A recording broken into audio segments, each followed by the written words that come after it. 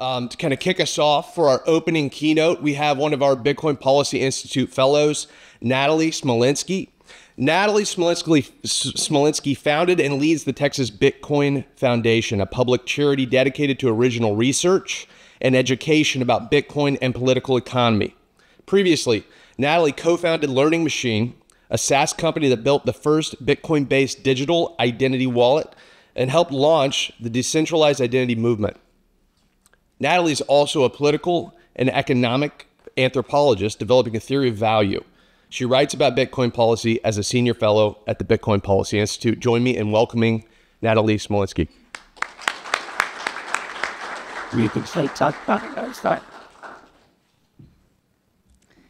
Good morning. Morning. Today, I want to talk to you about peer to peer and what that means.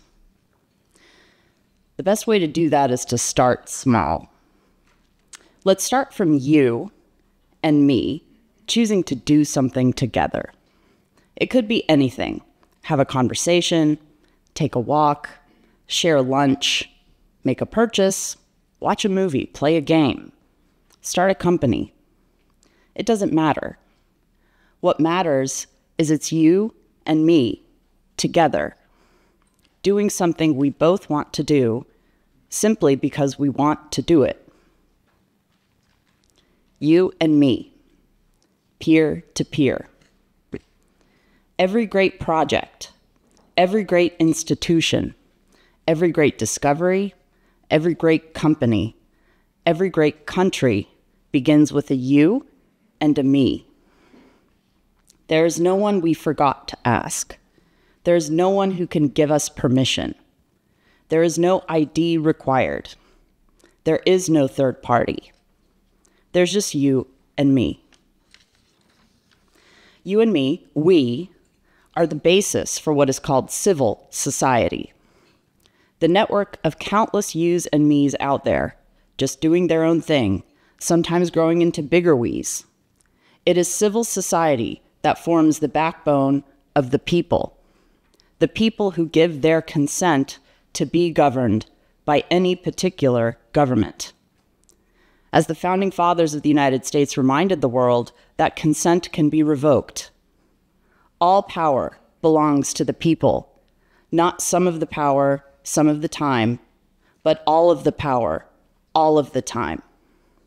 The people may choose to temporarily delegate some of these powers to a government they consent to but they can just as easily revoke that consent. The government has no inherent powers, no inherent rights, and certainly no inherent money.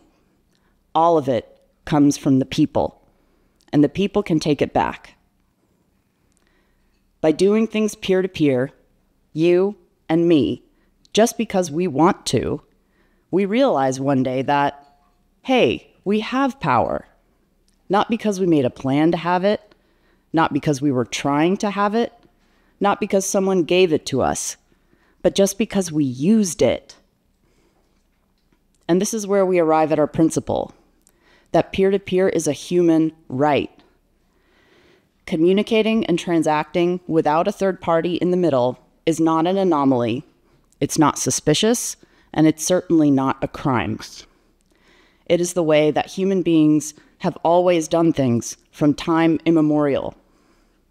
It's only because of the acceleration of information technologies today that we can even imagine governments, companies, and other third parties trying to get in the middle of every message and every penny that is sent between yous and me's around the world. The founding fathers themselves could not have imagined a, such a technological future, but they did articulate the principle of peer to peer in the Fourth Amendment. Quote, the right of the people to be secure in their persons, houses, papers, and effects against unreasonable searches and seizures shall not be violated, and no warrants shall issue but upon probable cause, supported by oath or affirmation, and particularly describing the place to be searched and the persons or things to be seized. Unquote. But something happened in the 1970s the US Congress, the elected legislative representatives of the people, tried to outlaw the Fourth Amendment. starting with the Bank Secrecy Act in 1970 and continuing through the Orwellian Right to Financial Privacy Act of 1978, Congress attempted to make it legal for banks and other third parties to search and seize without a warrant. The Supreme Court helped them with its 1976 ruling in United States v. Miller, which defined third party doctrine legally that people who willingly give information to a third party, like a bank or a phone company, have no reasonable expectation of privacy. Think about that. Imagine that. Imagine today living without a bank, a phone company, or an internet service provider. The Supreme Court of the United States has ruled that any person interacting with any of these entities at any time has forfeited their constitutional right to privacy. That is the opposite of what the founders of the United States believed. The U.S. Post Office was founded in 1775 on the eve of the American Revolution, in large part to enable revolutionaries to securely communicate. This is because the British po- uh, postal system was fully government surveilled. To this day, opening mail that is not addressed to you or preventing its delivery to the intended recipient is a federal crime in the United States. But in only one short decade during the 20th century, precisely as Silicon Valley was gearing up to birth the global software industry, two branches of the US federal government decided that these protections would not apply to the new information technology revolution. Where was the separation of powers here? Where was judicial review? Where were the checks and balances? Well, they were all there, all working together to grant the state more power. Different branches of the government colluding with each other, thinking they can get away with it. After all, who noticed? That's always the move. Mm. Apologists for these laws and rulings, and for the many dozens of other laws, rulings, and international treaties that have been made since, will say that they had to do this because of crime. Now, crime is a legal category, it is what the state says is prohibited. The Constitution puts limits on what the state is able to prohibit and the methods it may use to investigate and sanction violations of what is legally prohibited. Those limits on the power of the state are what create the possibility of freedom. Proponents of the surveillance state say that your Constitution had to be made into an origami hat because the people had too much freedom. Think about that. That is their genuine, actual point of view. Not only is such a proposition absurd on its face, but in a prior age would have been called treasonous. Let me make very clear the sociological reality that is the inevitable result of the kind of surveillance that these anti crime warriors are working to bring about. A society with no crime would be a fully totalitarian society. A fully militarized homeland with total information awareness, black ops against the civilian population. A free people will occasionally commit crimes. It is the obligation of law enforcement to prosecute crimes, but only after they have been committed, and then only within the boundaries established by the Constitution. Having a Constitution, having any legally meaningful concept of inherent human rights, means that some crimes will go unsolved and unpunished, certainly unprevented.